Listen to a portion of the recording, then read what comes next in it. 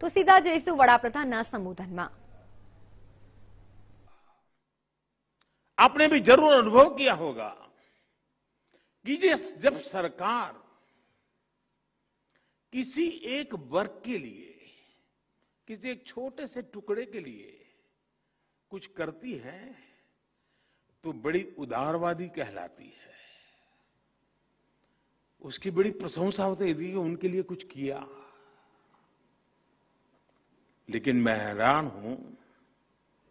कभी कभी हम देखते हैं, कोई सरकार एकाध राज्य के लिए कुछ कर ले, कुछ राज्य की भलाई का कोई काम कर दे तो भी वाहवाही हो जाती है। लेकिन जब सरकार सबके लिए करती है, हर नागरिक के लिए करती है, हर राज्य के लिए करती है तो उसे उतना महत्व नहीं दिया जाता जिसका कभी कभी तो उसका ज़िक्र तक नहीं होता है। सरकार की योजनाओं से कैसे हर वर्ग का, हर राज्य का समान रूप से भला हो रहा है, इस पर उतना ध्यान नहीं दिया जाता है। पिछले सात वर्षों में हमने बिना भेदभाव के, बिना पक्षपात के विकास के हर व्यक्ति, हर वर्ग और देश के हर कोने तक पहुँचाने का प्रयास किया है। इस साल 15 अगस्त को मैंने गरीब कल्याण से जुड़ी योजनाओं के सेचुरेशन की बात कही और इसके लिए हम मिशन मोड पर जुटे भी हैं। सर्वजन हिताय सर्वजन सुखाय इस मंत्र को लेकर के कार्य करने का हमारा प्रयास है। आज इससे देश की तस्वीर कैसे बदली है, ये हमें हाल के national family health survey report में भी दिखाई देता है। इस रिपोर्ट के बहुत से तथ्य इस बात को सिद्ध करते हैं कि जब नेक नियत के साथ काम किया जाए, सही दिशा में आगे बढ़ा जाए और सारी शक्ति जुटाकर लक्ष्य को प्राप्त करने का प्रयास किया जाए तो सुखद परिणाम अवश्य आते हैं। जेंडर इक्वलिटी की बात करें तो पुरुषों की तुलना में बेटियों की संख्या बढ़ रही है। गर्भवती महिलाओं को अस्पताल में डिलीवरी की ज़्यादा अवसर उपलब्ध हो रहे हैं। इस वजह से माता मृत्यु दर, शिशु मृत्यु दर पर कम हो रही है। और भी बहुत सारे इंडिकेटर ऐसे हैं। जिस पर हम एक देश के रूप में बहुत अच्छा कर रहे हैं, इन सभी इंडिकेटर्स में हर परसेंटेज पॉइंट की बढ़ोतरी सिर्फ़ एक आंकड़ा भर नहीं है। ये करोड़ों भारतीयों को मिल रहे उनके हक का प्रमाण है। ये बहुत आवश्यक है कि जन कल्याण से जुड़ी योजनाओं का पूरा लाभ लोगों को मिले। इंफ्रास्ट्रक्चर से जुड़ी परियोजनाओं समय पर पूरी हो। किसी भी कारण से हुई अनावश्यक देरी नागरिक को उससे उसके हक से वंचित रखती है। मैं गुजरात का रहने वाला हूँ तो मैं सरदार सरोवर डैम का उदाहरण देना चाहता हूँ। सरदार वल्लभ भाई पटेल ने माँ नर्मदा पर इस तरह के डैम का सपना देखा था। पंडित नेहरू ने इसका शिलान्यास किया था। लेकिन ये परियोजना दशकों तक अपप्रचार में फंसी रही। पर्यावरण के नाम पर चले आंदोलन में फंसी रही। न्यायालय तक इसमें निर्णय लेने में हिचकिचाते रहे। वर्ल्ड बैंक ने भी इसके लिए पैसे देने से मना कर दिया था। लेकिन उसी नर्मदा के पानी से कच्छ में जो विकास हुआ, विकास का कार्य हुआ आज हिंदुस्तान के तेज गति से आगे बढ़ रहे डिस्ट्रिक्ट में कच्छ जिला है। कच्छ को इस एक प्रकार के रेगिस्तान जैसा इलाका तेज गति से विकसित होने वाले क्षेत्रों में उसकी जगह बन गई कभी रेगिस्तान के रूप में जाने जाने वाला कच्छ, पलायन के लिए पहचान जाने वाला कच्छ, आज एग्रो एक्सपोर्ट की वजह से अपनी पहचान बना रहा है। इससे बड़ा ग्रीन अवार्ड और क्या हो सकता है? मानिए, भारत के लिए और विश्व के अनेक देशों के लिए, हमारी अनेक पीढ़ियों के लिए, उपनिवेशवाद, कॉलोनियलिज्म, उपनिवेश, उपनिषद, उपनिवेशवाद की बेड़ियों में जकड़े हुए जीना एक मजबूरी थी। भारत की आज़ादी के समय से पूरे विश्व में एक पोस्ट कॉलोनियल कालखंड की शुरुआत हुई। अनेकों देश आज़ाद हुए। आज पूरे विश्व में कोई भी ऐसा देश नहीं है जो प्रकट रूप से किसी अन्य देश के उपनिवेश के रूप में एग्जिस्ट करता है। लेकिन इसका मतलब यह नहीं है कि उपनिवेश, उपनिवेशवादी मानसिकता कॉलोनियल माइंडसेट समाप्त हो गया है।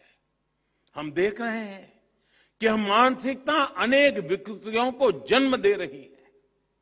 इसका सबसे स्पष्ट उदाहरण, हमें विकासशील देशों की विकास यात्राओं में आ रही बाधाओं में दिखाई देता है। जिन साधनों से जिन मार्गों पर चलते हुए विकसित विश्व आज के मुकाम पर पहुँचा है, आज वही साधन, वही मार्ग विकासशील देशों के लिए बंद करने के लिए प्रयास किए जाते हैं। पिछले दशकों में इसके लिए अलग अलग प्रकार की शब्दावली का जाल रचाया जाता है, लेकिन उद्देश्य एक ही रहा है विकासशील देशों की प्रगति को रोकना।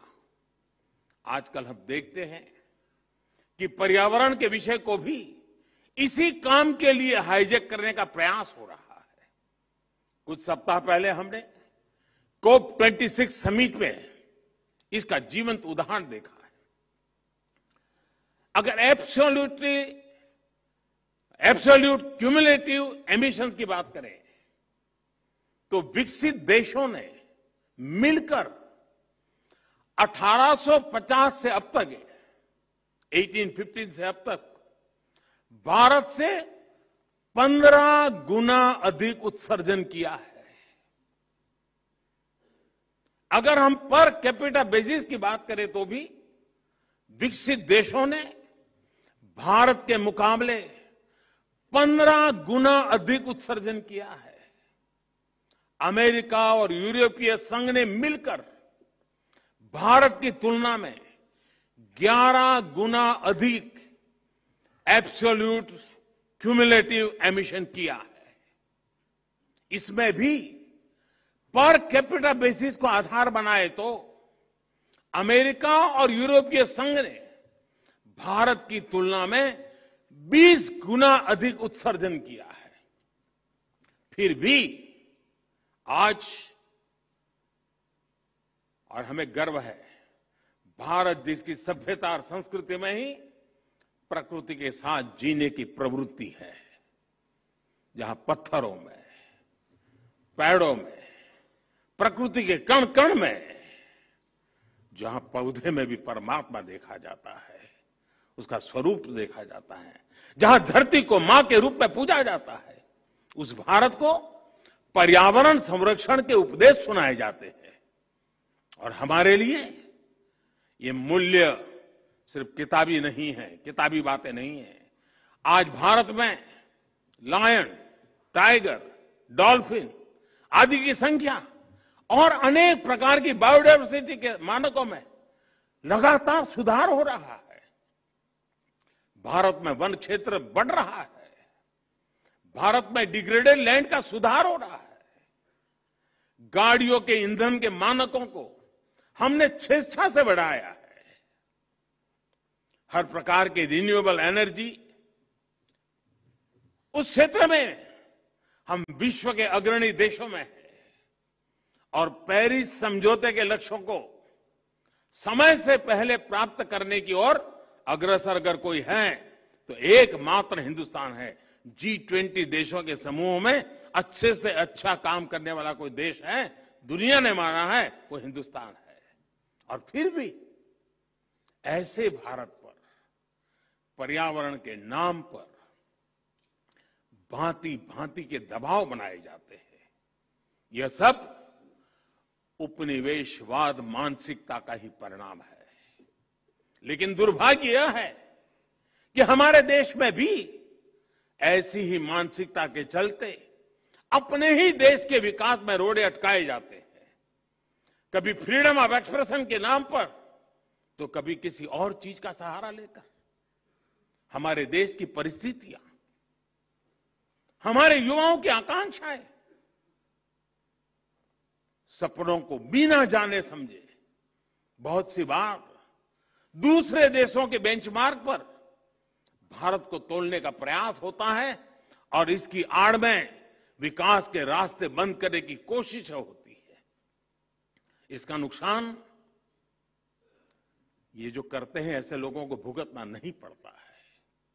इसका नुकसान भुगतना पड़ता है उस माँ को, जिसका बच्चा बिजली प्लांट स्थापित न होने के कारण पढ़ नहीं पाता। इसका नुकसान भुगतना पड़ता है उस पिता को, जो रुके हुए सड़क प्रोजेक्ट के कारण अपनी संतान को समय पर अस्पताल नहीं पहुँचा पाता।